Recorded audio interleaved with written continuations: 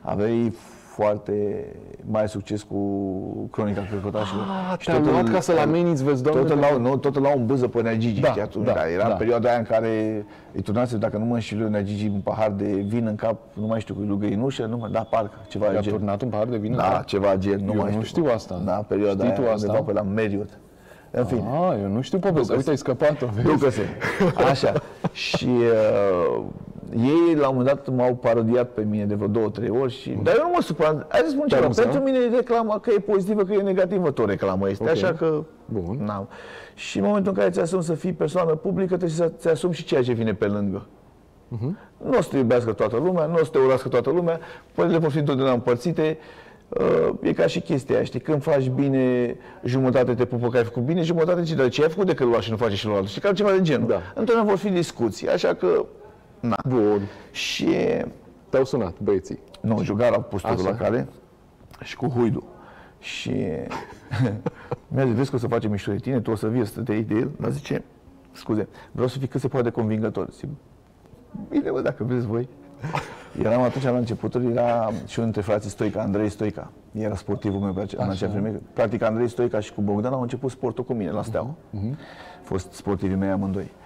Uh, și l-am luat pe Andrei cu mine. Cred că e pentru el e prima lui filmare, știi? Da. A, și zic, bă, uite, trebuie să facem chestia asta, uite așa, uite așa. Bine, hai. și acum, dai seama, tot am stat, tot am stat noi să așteptăm să coboare Găinușă. uh, găinușă, știi, să, să meargă la mașină.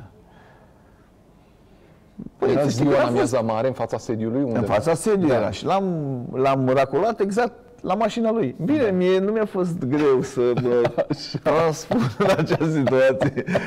La vremea respectivă era ceva obișnuit cumva, oarecum, Așa, știi? da. Câte tâmpenii făceam atunci, Doamne, nu vreau să, și să nu mai mi-aduc aminte de ele, dar n-am în control, Da. da. ce aminte de ele.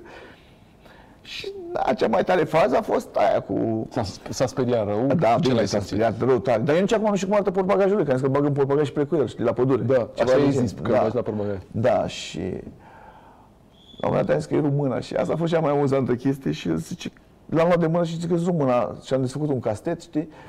Și Un ce ai desfăcut? Un castet, un, un, uh, Telescop sau un ce? telescop, da. Așa. Păi și cum folosea el să-i română? Păi ce, dacă întorci mâna și dai peste, se rupe cotul. Ah. În fine, Da. nu contează. Iar Și, și el săracul zice, nu, asta că mai mult rută, dar eu foarte serios, dă-mi pe cealaltă atunci. dar știi că după ani de zile ne-am întâlnit Așa. și am zis, bine mă, zic, nici acum nu știu cât, cât, uh, cât de mare e portbagajul la mașina ta. Și el zice, o să râzi, dar tot cu aceeași mașină sunt, dar tot nu înțeleg portbagajul. ai speriat omul incredibil. Încep. A, să știi că am rămas prieteni de atunci, adică... Da.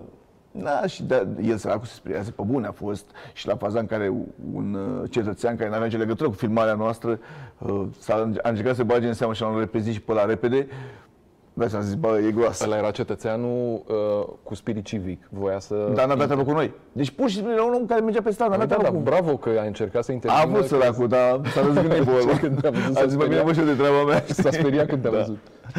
Înțelegi? Da, da, a fost mișto. Ce să zic? N-am cum să nu mi-aduc aminte de, de chestia asta cu, cu dragă și acum râd după ani de zile, na.